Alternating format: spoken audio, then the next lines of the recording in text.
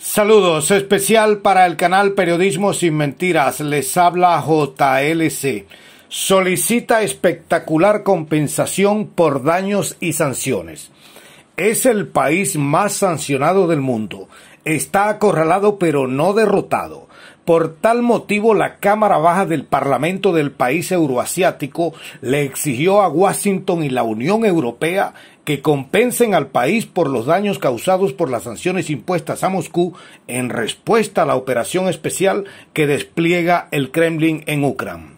El presidente de la Cámara Baja Siberiana, Vyacheslav Volodin, a través del canal sin censura Telegram, exigió recientemente que la Casa Blanca, la Unión Europea y otros países hostiles deberán pagar a Siberia por los daños causados por sus sanciones indicó que el país del norte, Europa y otros países de la órbita de Washington impusieron varios paquetes de restricciones contra empresas y sectores enteros de la economía de la federación por su operación militar en Ucrania. El político se quejó que las sanciones impiden las exportaciones de alimentos y fertilizantes, así como las transacciones comerciales, lo cual no solo los ha afectado a ellos, también ha surgido un efecto boomerang de estas sanciones antirrusas que están haciendo estragos en el viejo continente y en el país del cine. Argumentó esta denuncia comparando los precios de la gasolina en Australia, que se encareció un 30.3%, en el país del norte un 27.6%, en Canadá 22.2%, en los países de la Unión Europea 19.3%. Desde la crisis energética de los años 70 no se había visto un aumento tan brusco de los precios de la gasolina, dijo Volodin.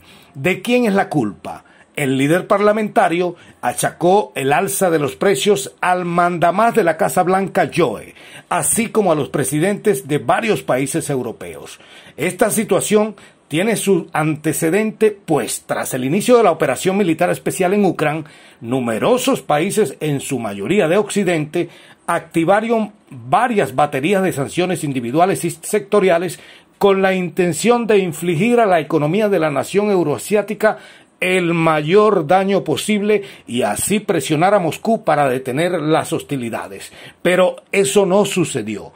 Por primera vez las sanciones incluyen la desconexión parcial del país siberiano del sistema SWIFT y la inmovilización de las reservas internacionales de su Banco Central, así como el embargo sobre la importación de petróleo euroasiático por algunos países.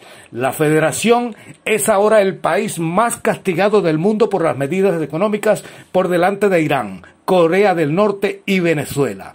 Las medidas restrictivas activas fueron ejecutadas por parte de la ONU, la Unión Europea y países como Australia, Canadá, India, Israel y Washington como jefe de la banda que comanda estas sanciones.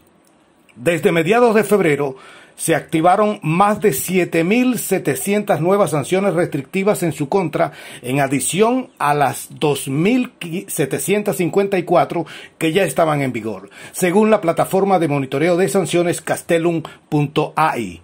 Ni la Duma o Parlamento Euroasiático se salvaron de las sanciones. La Unión Europea castigó a sus 351 diputados. Especial para el canal Periodismo sin Mentiras les habló JLC.